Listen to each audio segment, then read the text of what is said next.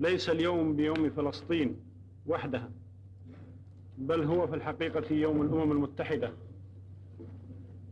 هو يوم العدل أو الظلم يوم الحق أو الباطل. اذكروا أيها السادة أنكم تعهدتم أمام الله والتاريخ في ديباجة الميثاق أنكم ستقفون في وجه المعتدي. وتعملون لسيادة السلام العالمي والأمن الدولي.